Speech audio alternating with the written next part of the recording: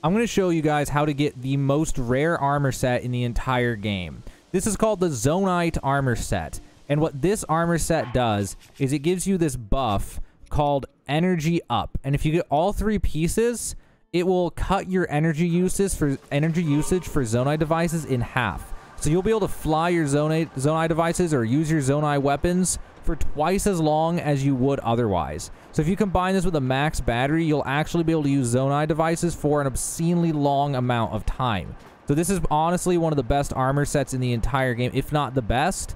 And is also super secret and super hidden. So two of the pieces, you actually would never even know how to get them without a guide. So I'm going to show you how to get this awesome battery reduction armor. Let's go ahead and get right into it. For the first piece, we're going to go to the Ulri Mountain Skyview Tower. It's up here to the northeast of the map. If you've never been here before, you can go to the backside, and there will be this thing flying around holding the piece that you need. You shoot that and pick up the piece with um, Ultra Hand, then bring it over here to this guy, and he'll open up the door for you. And then you can use this in order to launch into the sky. And when you do that, you'll be right around here, and you'll be able to glide over to this right here. Now, if at any point during any of this you don't have enough stamina, you can always farm stamina food. The easiest way to do that is to go over here towards the Maoki Shrine or the Jonsau Shrine. And on this shore right here, you can find these bright-eyed crabs that you can convert into stamina meals. So if you need those, go ahead and get those. So what you're supposed to do is come here and rebuild this device. You can just go ahead and leave it with the four fans and just stick all the batteries on with any which way. Uh, ideally, you want to balance the weight, though, if you can. But if not, that's fine, too. So we can go ahead and just put all these batteries on and then hop on this thing. And then this thing will take us to this over here. So we need to head over to the uh, east. So you're just going to fly over like this until all the batteries die and then until your battery runs out. And you really want to get a lot of height, too, on your way over. So that way you can just glide the last bit if you need to, especially if you have stamina food.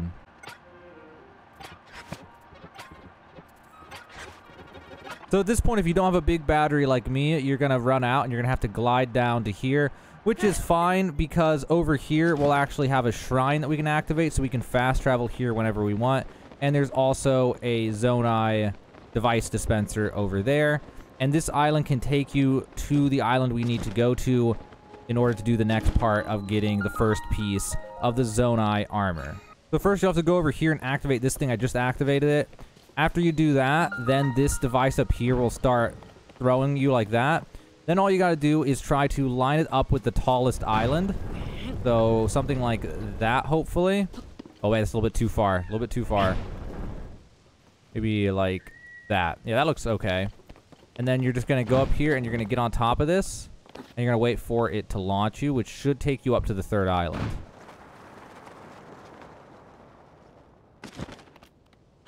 There you go. And then from here, we're up on the third island. We're ready for the next part of this. So now if you look around, you'll notice this giant orb in the sky. Now, what you'll want to do right here, immediately upon getting here and getting in this position, go ahead and save so you can reload right here if you mess this up, because it's definitely easy to mess up. So now what we're going to do is we're going to rotate this thing around all the way to the other side and try our best to line it up with the hole on the giant sphere over there. So Easy way to eyeball this is to use a bow and then see about lining it up like that. It looks maybe lined up. So now what we're going to do is we're going to grab one of these blocks and we're going to take the block and we're going to let go of it in there. And it looks like it was off by a little bit. Maybe because I hadn't fully set it down, honestly. But we have a few blocks that we can try multiple times. So you're going to wait for it to actually kick and then go so you can get on here and try to let go of it before it's done. Okay, let's see if this one's going to make it in. Not quite, unfortunately. Though I think we have it lined up. I think we just got to keep trying. I think it's just something about the angle or the way that I'm setting them on this thing can make it vary a lot. So we're just going to try this again. Wait for it. Then come over here and try to line it up as best as I can. Maybe that'll be better.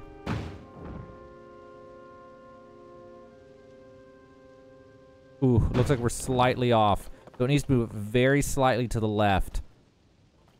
You can just tap it like that. There we go. And then that should seal the deal for it.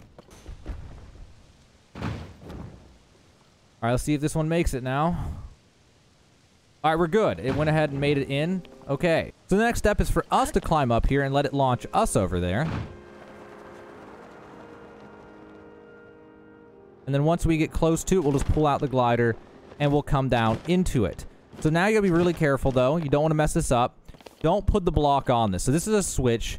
You do not want to put the block on it yet. So what you're gonna do instead is you're gonna find the block wherever it landed. You're gonna bring it over here. And then what you're gonna do is get it close to it. And then hold it with Ultra Hand over top of it.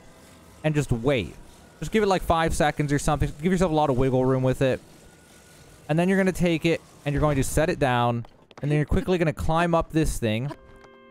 And you're going to glide over. Wait for your stamina. Glide over. Climb and do the jump climbs up to here. And then from here, you can look down and do a recall. And now be really careful. So we got to do this and get it right over top. And then cancel. And be careful not to fall off here because it's possible. And then quickly jump over into here. If you don't do that, you'll get trapped in the upper part and have to load your save. So then from here, we have the first secret piece of Zonai armor. This one is the Zonaite Shin Guards. So let's go ahead and take a look at that one real fast. Pop that on. Re make energy up makes you use less uh, battery power when using devices. The next place that you need to go is the Rabella Wetlands Skyview Tower in the southeastern part of the map. Also, when you first come here, there'll be these spikes here. You'll have to burn them away. And in order to do that, what you'll have to do is take these and connect them end to end and then hold them over the roof in order to cover the cover the vines so that that way they'll actually burn. You'll need three of these though. There's one over there as well. But you'll cover like that by putting it across there, and then you can burn them. And then you can take this Skyview Tower up. And what we're going to do is we're going to fly over to this region right here of floating islands. On your way in, you'll notice all these floating islands and these platforms near them. Now, the best one to start by is going to be this one that has two springs on it, the one furthest to the north. And next to it is this one, which we won't be able to grab, I don't think, unless we want to attach something to it, but I'm not going to go, I'm not going to do that. So instead, we're just going to go down to it. And what we need to do now is we need to get to that island up there. And this is where we need to talk about Zonai devices. So if you have fans, that's going to be really nice. That's the main thing that you're going to need here. You're just going to take a fan and you're going to put it down in the middle like that and then hit it. But if you have other things that can help you, so like if you have this flying device and a bunch of battery, that'll also make this way easier. If you have large Zonai charges, like this, uh, they'll temporarily give you infinite battery. Things like that are also super super helpful here. Also, if you have auto build things like, or just the, the materials to make them, things like a sled with a rocket, that'll also be nice here because this thing will eventually disappear once it travels far enough. So once we get high enough, what we're going to have to do now is go to our Zonai devices and spawn another fan. And we're going to take that fan and we're going to tilt it at an angle like this. Uh, more like down at an angle like that. And then we're going to have it bring us closer to the island. We're actually rotated a little weird here.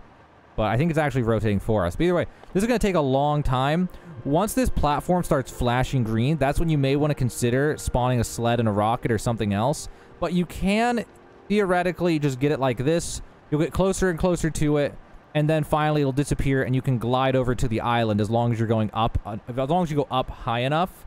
Also, if you need stamina food, if you weren't listening to the other part, you can get stamina food right here on the map to the right of Central Hyrule. There's a spot on the beach where you get bright-eyed crabs, and just cook them together into meals. It gives you full stamina restores. Okay, so the platform's starting to flash green, so I'm going to turn this off so it doesn't disappear just yet. And at this point, you got to keep going, and then as soon as it disappears... Actually, it's just going to disappear. Okay.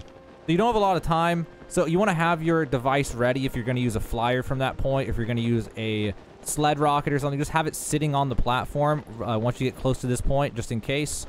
It just It's up to you. But you should be able to glide like this if you have stamina food. And where we're going to try to go is we're going to slip between this broken off thing on the right and the and the actual tower itself. There'll be this circular ring that wraps around this, and we're gonna try to hit that. So we're gonna come in right here, and this is where stamina food's good because if you don't, if you come up short, you're gonna need a climb. So stamina food is really kind of required here if you don't use a Zonai device, which it's easy to mess up and not use one. All right, so there we go. I had enough stamina, but if I didn't have the stamina that I have, then I would have needed to use a stamina food. So now after this, you're going to wrap around the island this way, which is counterclockwise. You're going to come over to... Oh, geez. You're going to come over to here, and there's this ring that you need to interact with before we can continue further on this island. You come to the outside of it and interact with it, and that will activate the island. And then from here, we'll be able to glide up the island. So now you're going to go to the right and climb up this and you can walk over here, wait till your stamina's full, and then glide over top of this. It'll take you up higher, and then you can keep doing this to go up further and further on the island. So you can come over here. If you need a rest, you can just come down and land and get your stamina back. But you'll just go from each one of these, from one to the next to the next, and make your way up the island all the way to the top. Once you get to the top, you'll just glide on over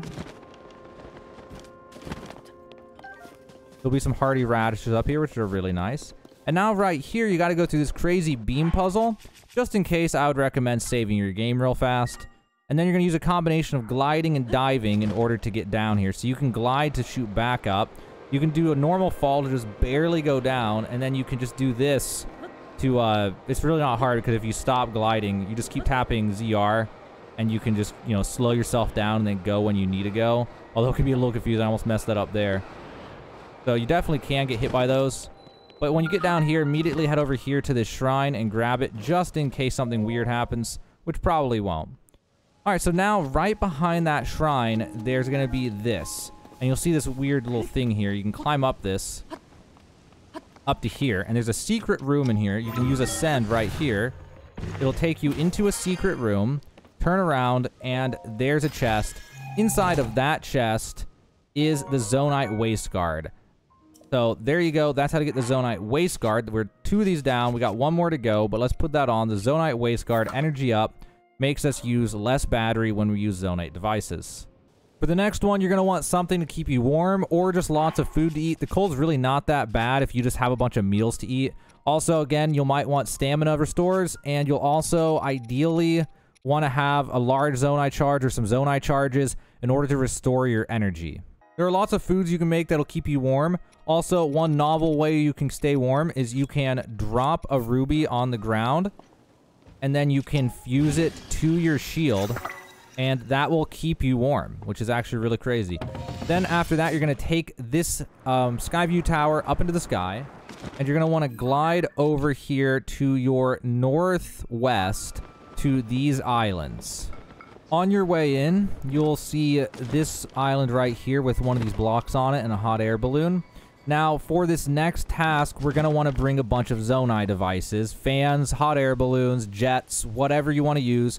Or if you have enough battery for it and you have it, you can just go ahead and make one of these and just fly the whole way. It's really up to you which way you want to do it. Or you can just stick with this one balloon, but it will take quite some time to get up there. So recommend putting more than one balloon or using a fan or something like that. Once you start getting high enough, if you want, you can put on a fan and you can attach it at an angle. So we can put it on like this and we want to head to the south. So take a look at your compass at the bottom right of the screen. You want to head roughly south and you can tilt it at an angle downward. So like this and just attach it to the side of the hot air balloon because we are going to have to head south as well in order to go to the series of islands right down here. Though the balloon that comes with it by default will not last forever and it'll eventually come off leaving you with just the fan which is not a big deal. But once the balloon is gone, especially if you've had the fan on pretty much the whole time, I have to reattach the fan after that though because it'll detach the fan. Uh, and then also we can take off this flame emitter and throw it away. Make sure this fan's still attached at that angle. Uh, at Oh, not at that angle at at this angle. There we go. And also we can use this to rotate right now and change our direction. So like this, because we need to head towards those three islands in the distance. Now, once you're up this high, it's probably a good idea if you if you're going to use a flying device, just go ahead and fly the last bit of the way. But if not, you can just wait and attempt to glide. If you got your angles wrong and aren't quite at the right height, you'll have a trouble you'll have trouble getting there. Also, if you don't have enough stamina, you'll have trouble getting there. But you may also want to, if you have an auto build ready for something like this, a sled rocket, you can just get it ready because this platform is going to disappear on us at a certain point. So we can just take this and get it to where once it spawns, it'll wedge in like that. And then we can jump on top of before the platform disappears and hit this, just to get an extra boost to make this a little bit easier. And then from there, we're going to glide over to the middle island. Again, if you need stamina food, there are crabs that you can get on the eastern side of the map right over here by this river. And you can go there and cook those into stamina food before doing all of this in order to have some stamina food to consume on your way over if you don't have enough stamina by default. I'm glad I used that rocket because I had messed up the way I went up and I would not have quite made it. So definitely, I definitely recommend doing something to give yourself a boost there, some kind of edge. So now what you're going to do is you're going to actually, you're going to save the game because you do not want to have to do that a second time. That took a very long time. And then we're going to go over here and we're going to take a wing and we're going to get it set up on this course. Now at this point, you'll need to use your Zonai charges, or if you have batteries, you could and just your own Zonai devices, you can add fans, you can add batteries. Uh, if you need batteries, you can actually get them over in the sky over here, and you can get there from the Eldin Canyon Skyview Tower. Go to this Zonai, device dispenser and get a bunch of batteries. It's just up to you. But the default stuff that's already up here is just going to be these two rockets and these two fans which I'm just going to combine them all just to make it easier to carry, and then bring them over to here and shake off the pieces one by one and attach them to the wing. So we're just going to take these and attach them to the tail, facing backwards like this. And then we're going to take the rockets, and we're going to put them on the tips of the wings facing forward. And from here, we're just going to go straight to the south. So now we're going to get on here. Uh, ideally, let's go ahead and just move this thing up a little bit more. And then we can hit this. And it'll launch us into the air. So now what we want to do is we want to hang out. You can crouch in order to make it easier to not fall off. And you want to hang out on the rear of the uh, um, wing, which will make it go up. And ideally, we want to get a bunch of height on our way over because there's an island we're going to land on to our front right. Now, again, if you don't have a lot of battery charge, this is the point where you'll need to uh, use Zonai charges or something like that.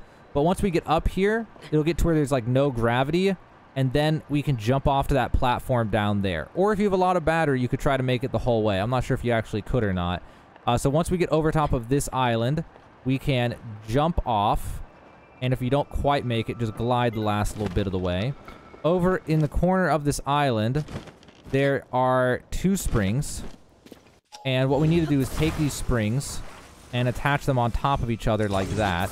And before we even go, I recommend that you save your game again so you don't have to go to this island a second time. But before we can go to that island, we'll have to make a pit stop over at this island right here. There's a platform we can land on on the way. Also, if you're dying to the cold, be sure to keep an eye on that and eat food periodically so that way you don't die to the cold if you don't have actual armor to keep you warm. So now we're going to look to our southwest and launch up into the air. Over here, we'll see this island right here, and we'll see this floating platform. Once we get to the height of our, our jump like that, we're going to glide over to this platform, and we're going to try to dodge this guy's arrows by going to the right and then coming in. Uh, if you're not very strong, he can just one-tap you, so be very careful. And be careful not to activate these rockets on your way in, or else you'll have to spawn one of these rockets. Okay, so now what we're going to do is we're going to try to not activate both rockets at the same time. We're going to set this one to the side without attaching it. And then we're going to take this one and attach it to the center and make it go straight up. And then hit it. This will take us up higher into the sky. Then we can take the other one and we can look towards the island to our northeast and set this one at a 45 degree angle towards it and then set it on the ground and hit it as well. This will take us close enough to this island that we can easily just glide over to it. We'll wait for this thing to stop moving and then we'll just jump over like this to this island. Now on this island, we'll be able to find my camera, my controller is disconnecting. Okay, there we go. On this island, we'll see over here to the north, there's this ring. That's where you're going to want to go first in order to activate the island. Now, before you do any of this, make sure you're not dying to the cold like I am. And then save your game before doing this. Then after you save your game, you're going to interact with this ring. which will lower the water level of this island and let you get down into the lower half of it in order to do a puzzle with light. This is your chance to get a bunch of free fish, by the way. They can't really defend themselves now. You'll head over here. There'll be this guy right here. You can fight him if you want, or you can try to ignore him. It's up to you. You'll head down into this cave, and you'll blow this up with a blunt weapon or bomb flowers or whatever. I think the easiest way if you have bomb flowers on you is to just use a bow and then go over. It depends on how often you use them. In my case, I can I can organize by the most used item. Like, it's so obnoxious once you have so many items in this game. It, it literally takes forever. Or just find them on the way, bomb flower, and use bomb flowers on that in order to break them. And then you can head down into here, where we can do a light puzzle with these um, light reflectors. Now, you can make this puzzle a lot easier on yourself by pulling out your bow and looking through your inventory for the... Uh, bright bloom seeds or giant bright bloom seeds and just start shooting them off to the right and just shooting them all around. Uh, it'll make it a lot easier to see what's going on inside of here when you go to do this puzzle.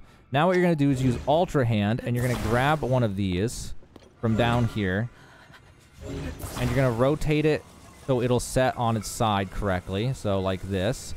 And then you're going to take it and point it towards that one and set it down. Then you're going to jump over to that And you're going to take this one and you're going to use Ultra Hand on it as well. And you're going to rotate it forward like that and point it towards that one. And then you're going to glide over to this. Glide over to this. And I'm going to go ahead and shoot Bright Bloom Seeds over here. And I also got to watch my health because I didn't actually put any food on to, or any um clothing on to keep me warm. So at this point, I'm just going to eat some random food. But now we're going to use Ultra Hand on this one. Rotate it forward and point it towards that. And then from here, we can fly over to this. And one thing I didn't try is we can actually spawn light source sources as Zonai devices. And maybe we could just circumvent this whole puzzle. But I've never tried it. You could try it if, you, if you're bored and you want to. Either way, you're going to go over here now. And you're going to drop down into here. And you're going to kill this guy. And he'll drop a mirror shield which you don't even have to pick up and equip. You can just you can just use it like the other devices we were using already. So we're to straighten it out, and then we're going to hold it in the air with Ultra Hand and point it at this thing. Once we do that, we can go ahead and drop it, which will make these walls come down. And also, we can go over here and climb up to here, and then drop down. And there's a chest right here. Inside of this chest is the Zonaite Helm. So once we put that on as well, we can go to our armor and see what the final set looks like. So that is what it looks like. And with all these on, it will cut your battery usage in half. The final notes about this armor set, you can upgrade it at the Great Fairies, and if you upgrade all the pieces to level 2, there'll be a set bonus, and it'll make your battery recharge twice as fast. Now, one of the kinks with doing that, though, is that you'll need a, a soldier captain construct horn, some item like that. And you'll need a bunch of them to get through the first levels of upgrading the armor. And one of the places you can find it is at a shrine right here. You can just come here every blood moon every few hours. They'll respawn even if you've already beaten it. And they're just like the ones with the really long necks. You'll just look for them. And if you upgrade it all the way, the entire set, it'll have 84 armor. So it's a pretty good set, honestly. And the main thing is that Zonai devices are OP. If you've seen my other videos about making tanks and other cool devices, um, if you saw my was my orbital destruction beacon, I called it, where I was able to destroy flame Gleeok in 30 seconds. Um, you'll realize that Zonai devices are stronger than pretty much anything else in the game. So getting your battery usage cut in half is really, really big. So this is one of the best armor sets in the game. It's a super secret armor set, extremely difficult to find. Most of the pieces are actual, like two of the pieces especially, are literal secrets where like you wouldn't even know that you could get them the way that you do. So hopefully this video helped you out, guys. If it did, do me a favor, hit the like button, subscribe for more content, and now you know how to get the Zonai armor set in The Legend of Zelda Tears of the Kingdom.